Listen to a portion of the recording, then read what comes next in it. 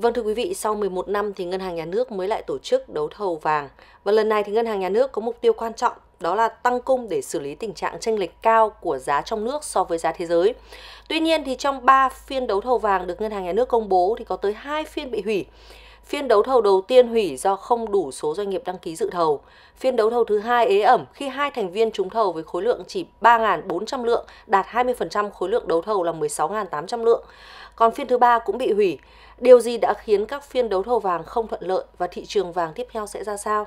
Xin mời quý vị theo dõi trao đổi cuộc trao đổi của chúng tôi với Phó giáo sư Nguyễn Hữu Huân thuộc Đại học Kinh tế Thành phố Hồ Chí Minh. Xin chào ông. Yeah, dạ, xin chào chị Thủy. À, vâng thưa ông, tôi xin phép được vào thẳng vấn đề bằng câu hỏi được quan tâm nhất hiện nay, đó là vì sao các phiên đấu thầu giá vàng lại thất bại? Ừ.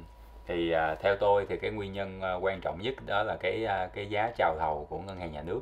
À, thì chúng ta thấy được rằng cái giá chào thầu hay là cái giá tham chiếu mà ngân hàng nhà nước đưa ra trong ba phiên vừa qua thì nó khá sát so với lại cái giá của à, giá vàng ở trong nước. À, thì à, cụ thể nó là vào khoảng hơn 80 triệu đồng. À, có những phiên thì nó lên 81 82 triệu đồng. Và hiện nay thì giá vàng ở trong nước thì cũng đang giao dịch ở cái mức là khoảng 83 triệu 83 dạ. 84 triệu đồng.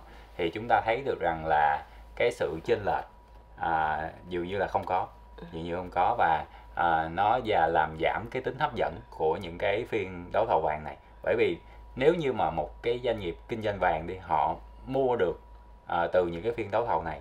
Thì khi mà họ bán lại ở cái à, cái thị trường trong nước á, thì chúng ta thấy được rằng là cái mức lợi nhuận của họ rất là thấp thậm chí là không có. À, và bên cạnh đó nữa thì nếu như mà giá vàng trong nước có xu uh, giá vàng thế giới có xu hướng giảm và giá vàng trong nước có xu hướng giảm theo chẳng hạn như vậy đi thì nó cũng sẽ ảnh hưởng rất nhiều đối với lại cái, những cái uh, doanh nghiệp uh, này. Và điều đó nó dẫn đến là họ không có quá mặn mà dạ. khi mà tham gia vào cái thị trường này. Đó và cái thứ hai nữa thì cái cái mục đích của cái phiên đấu thầu vàng thì à, như ngân hàng nhà nước nói đó là tăng cung và và làm giảm cái à, gọi là cái chênh lệch ừ. giữa giá vàng trong nước và giá vàng thế giới. Nhưng nếu như mà chúng ta giữ cái mức giá tham chiếu nó quá cao như vậy thì chắc chắn là cho dù chúng ta có tăng cung 100 ngàn lượng thậm chí là một triệu lượng đi chăng nữa thì giá vàng trong nước cũng không thể giảm được. Bởi vì khi mà doanh nghiệp đã mua vào với giá cao thì họ không thể bán được với giá đó, thì đó là những cái lý do mà uh, những cái phiên vừa qua là thứ nhất là nó nó không thành công và thứ dạ. hai nữa cho dù nó có thành công thì nó cũng không góp phần làm giảm cái giá vàng trong nước về sát với giá vàng thế giới theo cái mục đích ban đầu của chúng ta. À, vâng, như chúng ta vừa trao đổi thì uh, giá vàng trong nước uh, đang không ngừng tăng và một trong những nguyên nhân được đưa ra là do nguồn cung khan hiếm. À, nhưng khi ngân hàng nhà nước bán đấu thầu giá vàng thì tăng cung thì thị trường vàng lại hấp thụ rất là thấp và điều này khiến nhiều người băn khoăn là liệu thị trường vàng có thật sự là thiếu nguồn cung hay không? Ừ, thì uh, như tôi đã phân tích ở ở đầu á ừ. thì uh, thực sự là không phải là do là những cái phiên này mà uh, các uh, các doanh nghiệp kinh doanh vàng họ không có uh, muốn mua vâng. nhưng vấn đề nó nằm ở chỗ là giá vâng. à, bởi vì nếu như mà mua một cái giá mà sát với lại giá vàng trong nước thì rất khó để họ có thể tìm kiếm lợi nhuận khi mà họ bán lại vâng. à, và cái thứ hai nữa là uh, cái việc đó nó cũng sẽ làm cho uh, cái cái cái sức hấp dẫn của của những cái phiên này thì nó nó sẽ giảm đi rất là nhiều rất là nhiều do vậy thì tôi nghĩ rằng là nếu như mà chúng ta muốn là tăng cái tính hấp dẫn đi à, của những cái cái phiên đấu thầu này thì bắt buộc là cái phần giá dạ. à, ngân hàng nhà nước cũng phải cân nhắc là chúng ta sẽ phải giảm về dạ. rất là mạnh đó đâu đó là nó phải tiệm cận với giá thế giới tức là nó sẽ bằng là giá thế giới cộng với lại à, thuế này và cộng với lại à, thuế phí nhập khẩu chẳng hạn như vậy hoặc là chi phí nhập khẩu và cộng với lại thêm một cái phần lợi nhuận của của um, của ngân hàng nhà nước nếu nếu có à, thì à, thì khi đó và à, nó mới tạo ra được một cái cái tính hấp dẫn và cái giá nó nó phải tương đối là nó thấp. Vâng. đó thì như vậy thì khi mà các doanh nghiệp à, kinh doanh vàng á, họ mua với cái giá thấp như vậy thì họ mới có thể bán ra với giá thấp được còn hiện tại thì nếu mà mua với giá cao như vậy thì rất khó để mà họ có thể là là bán ra được. Vâng. à, với với à, à, giá thấp như là chúng ta kỳ vọng. Vâng nhưng cũng rất khó bởi vì uh, thời gian qua thì uh, giá vàng của chúng ta đã rất là cao khối lượng vàng ở trong hiện tại ở trong dân có lẽ là cũng là một khối lượng khá lớn và họ ừ. đã phải mua rất giá một cái giá rất là cao ừ. nếu như mà ngân hàng nhà nước như anh vừa trao như ông vừa trao đổi thì với ngân hàng nhà nước uh, phải đưa một cái giá tiệm cận với giá thế giới thì có nghĩa là so với cái mức giá mà dân chúng ta vừa mới mua vào thì nó chênh lệch khá là ừ. nhiều ừ. phải không ạ vâng việc đấu thầu để tăng cung không chênh lệch giá vàng trong nước với thế giới xuống mức hợp lý nhưng kết quả thì chúng ta đang, đang vừa trao đổi thì đang hoàn toàn ngược lại. Thực tế cho thấy giá vàng SJC tăng liên tục sau đấu thầu và vì sao lại như vậy? Ừ, thì như chúng ta thấy được rằng là mọi người à, trông chờ vào cái cái phiên đấu thầu vàng này à, và họ kỳ vọng khá nhiều. À, nhưng mà cái cái kết quả thì nó lại không đạt được như kỳ vọng dạ. của cả chính phủ cả ngân hàng nhà nước lẫn nhà đầu tư và chính vì thế thì họ thấy được rằng là những cái phiên đấu thầu này nó không hiệu quả. Và do đó thì cái cái tâm lý mà lo lắng trước đây của họ tại vì khi mà họ mua vàng SJC á, dạ. cái lo ngại nhất của họ đó là rủi ro về chính sách. Tức là một khi mà ngân hàng nhà nước tăng cung và làm giảm giá vàng thì họ có thể là là bị lỗ. Bởi vì đã như như chị Thí nói đó là họ đã mua giá cao trước đó rồi mà bây giờ ngân hàng nhà nước đẩy giá vàng xuống thấp thì họ sẽ sẽ tạo ra những cái khoản lỗ cho họ thì họ lo ngại và chính vì những cái lo ngại đó thì giá vàng SJC có thời điểm là nó chững lại ừ. nó đứng lại thậm chí là có những những uh, ngày là nó giảm ừ. một hai triệu đồng một lượng dạ.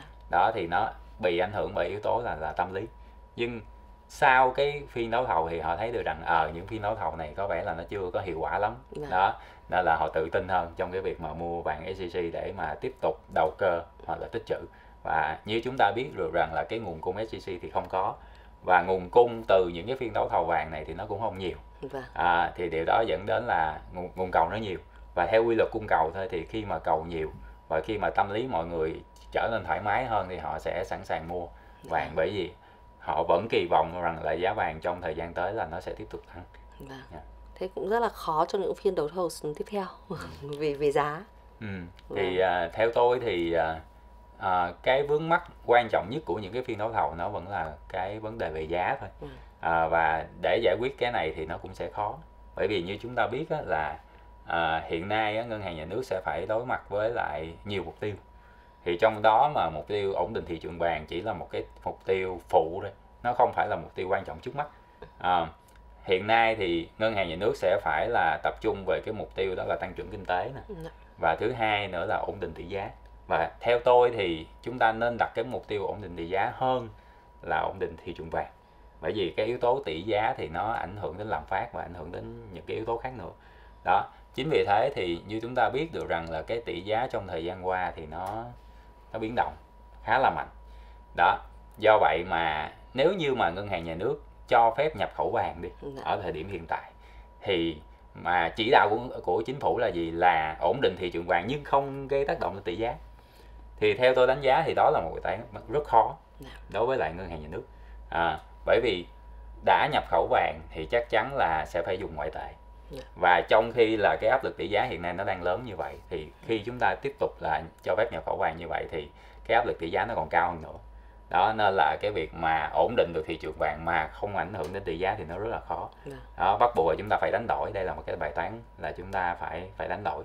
Đó nên trước mắt thì à, ngân hàng nhà nước sẽ sử dụng những cái giải pháp tình thế. Thì theo tôi cái việc đấu thầu vàng này đó là một cái giải pháp tình thế nhằm mang à, tính chất đó là kéo dài thời gian này kéo dài thời gian. Đó và thực ra ngân hàng nhà nước cũng cũng chưa thực sự muốn là đấu thầu với giá thấp đâu. Bởi vì khi ừ. mà chúng ta bán vàng với giá thấp ra tại vì chúng ta dùng cái à, dự trữ vàng dạ. à, để chúng ta bán ra với giá thấp và sau đó nếu như mà xu hướng thị trường thế giới nó lại tiếp tục tăng ừ. chúng ta phải mua lại với giá cao thì dạ. đó là điều mà ngân hàng nhà nước không hề muốn dạ. đó. do vậy thì theo tôi thì đây chỉ là cái giải pháp tình thế thôi à, nhằm là kéo giãn thời gian và cho đến khi là cái tỷ giá của chúng ta nó ổn định trở lại à, bởi vì tôi cũng đánh giá là cái cái vấn đề áp lực tỷ giá thì nó cũng sẽ mang tính mùa vụ à, hiện nay thì kinh tế đang hồi phục mà chúng ta như chúng ta biết rồi là nền kinh tế Việt Nam á, thì là phải có nhập khẩu thì mới xuất khẩu được tại chúng ta là nền kinh tế gia công đó nên là hiện nay chúng ta đang nhập khẩu khá nhiều để đáp ứng những cái đơn hàng xuất khẩu trong tương lai. Vâng. và điều đó nó gây áp lực lên tỷ giá trong ngắn hạn. Đó thì những cái điều đó khi mà nó được giải quyết tức là khi mà chúng ta đã xuất khẩu được những cái đơn hàng đó và ngoại tệ về thì cái áp lực tỷ giá nó nó sẽ giảm bớt. Thì theo tôi đó là cái thời điểm thích hợp để mà chúng ta cho phép nhập khẩu vàng. Còn cái việc mà đem vàng à, dự trữ trong kho ra mà để bán chắc chắn là ngân hàng nhà nước không hề muốn điều đó Vâng. và xu hướng của các ngân hàng trung ương trên thế giới hiện nay là mua vàng để tăng dự trữ thì không lý do gì mà chúng ta lại bán ra bán vàng ra để giảm dự trữ cả Dạ. bởi vì xu hướng vàng đang tăng à, chính vì thế thì tôi tôi nghĩ rằng đó đó sẽ là một cái động thái của ngân hàng nhà nước thôi nhằm gọi là kéo dài thời gian kéo dài thời gian và khi mà áp lực tỷ giá à, qua đi Vâng. thì ngân hàng nhà nước sẽ bắt đầu là cho phép là nhập khẩu vàng chính ngạch Dạ. À, với cái lượng quota nhất định chứ không phải là chúng ta muốn nhập khẩu bao nhiêu là nhập bởi vì chúng ta biết được rằng là cái dự trữ ngoại hối của mình nó không nhiều và cái à, thặng dư thương mại của chúng ta có nhưng mà nó cũng không thực sự quá cao Dạ. à, vì vậy chúng ta phải tiết kiệm à, tiết kiệm ngoại tệ để mà dùng ngoại tệ đó phục vụ cho những cái việc mà nhập khẩu những cái mặt hàng thiết yếu hơn là vậy Dạ vâng. Ừ. Ờ, ở thời điểm hiện tại thì có lẽ là giá vàng của thế giới còn phải dựa vào cái uh, cuộc họp uh, của Cục Dự trữ Liên bang Mỹ Fed sắp tới đây. Vâng thưa quý vị, nước ta không sản xuất vàng nguyên liệu, phải nhập khẩu vàng để đảm bảo cân đối cung cầu. Do vậy mà giá vàng trong nước phải liên thông với giá vàng thế giới. Bình ổn thị trường vàng đồng nghĩa với giá vàng trong nước phải theo sát và liên thông với giá vàng trên thế giới. Tuy nhiên thì đã nhiều năm giá vàng trong nước có sự chênh lệch với thế giới. Với đợt đấu thầu không thành công vừa qua, các nhà quản lý sẽ còn nhiều việc phải làm nếu muốn bình ổn thị trường vàng, nhất là khi phương án đấu thầu cho thấy còn nhiều bất cập. Và xin cảm ơn ông Nguyễn Hữu Huân à, đã đến với buổi trao đổi ngày hôm nay. Yeah. xin cảm ơn chị Thủy à, xin cảm ơn à, quý khán thính giả